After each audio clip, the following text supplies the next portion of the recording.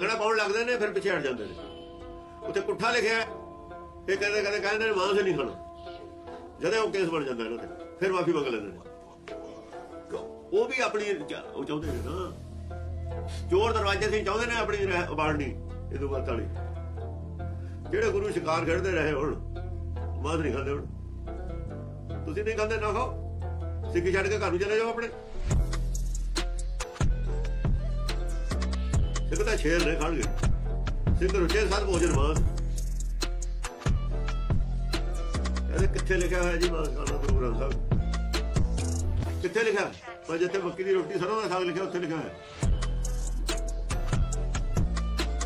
ਰਸੂਲ ਨੇ ਦੱਸੋ ਕਿੱਥੇ ਲਿਖਿਆ ਕਿਉਂ ਖਾਣੇ ਬਰਫੀ ਲਿਖੀ ਹੈ? ਕਹਿੰਦੇ ਖਾਣ ਨੂੰ ਕਿਉਂ ਖਾਣੇ ਉਹ ਚੀਜ਼ ਖਾਓ ਜਿਹੜੀ ਲਿਖੀ ਹੋਈ ਹੈ? ਬਾਕੀ ਸਾਰੀਆਂ ਛੱਡੋ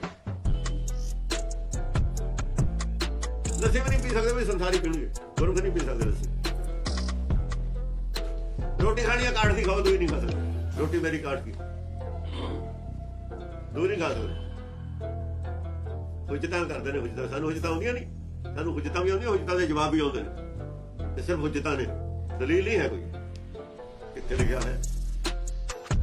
ਇਹ ਖਾਣ ਪੀਣ ਲਿਖਿਆ ਹੈ। ਇਹ ਆਤਮਾ ਦੀ ਖੁਰਾਕ ਹੈ, ਗੁਰਬਾਣੀ 'ਚ ਲਿਖੀ ਹੋਈ। ਆਤਮਾ ਨੇ ਕੀ ਖਾਣਾ ਸਰੀਰ ਨੇ ਕੀ ਕਹਿਣਾ? ਸਰੀਰ ਨਾਲ ਤਾਂ ਮਤਲਬ ਹੀ ਕੋਈ ਨਹੀਂ ਇਹਦਾ ਗੁਰਬਾਣੀ ਦਾ। ਸਰੀਰ ਨਾਲ ਬਾਣੀ ਦਾ ਕੀ ਮਤਲਬ? ਇਹ ਕਹਾ ਆਯੁਰਵੈਦਿਕ ਹੈ। ਕਿਹੜੀ ਬਿਮਾਰੀ ਤੇ ਕੀ ਖਾਣਾ, ਉਹ ਆਯੁਰਵੈਦ ਪੜ੍ਹ ਲਓ, ਤੁਸੀਂ ਉੱਥੇ ਲਿਖਿਆ ਹੋਊਗਾ। ਇਹ ਆਤਮਾ ਗਿਆਨ ਹੈ। ਆਤਮਾ ਦੀ ਖੁਰਾਕ ਕੀ ਹੋਣੀ ਚਾਹੀਦੀ ਹੈ? ਕੀ ਆਤਮਾ ਦੀ ਖੁਰਾਕ ਨਹੀਂ ਹੋਣੀ ਚਾਹੀਦੀ? ਆਤਮਾ ਕਿਵੇਂ ਸਵਸਥ ਹੋਊਗੀ? ਕਿਵੇਂ ਆਤਮਾ ਦਾ ਰੋਗ ਜਿਹੜਾ ਹੋਵੇ ਦੂਰ ਹੋਊਗਾ? ਧਰਮ ਰੋਗ ਤਾਂ ਇਹਦਾ ਆਦ ਰੋਗ ਹੈ। ਵਿਆਦ ਰੋਗ ਦੂਜੇ ਨੇ। ਉਹ ਆਦ ਰੋਗ ਵੀ ਕਿਵੇਂ ਹਟੂਗਾ? ਗੱਲ ਇਹ ਹੈ, ਤੁਸੀਂ ਕਰਫਿਊ ਪੀਣ ਨਾਲ ਜੋੜ ਲਈਏ? ਥੋੜੀ ਫਿਰ ਆਤਮਾ ਕਿਵੇਂ ਬਣੀ ਰਹੂ?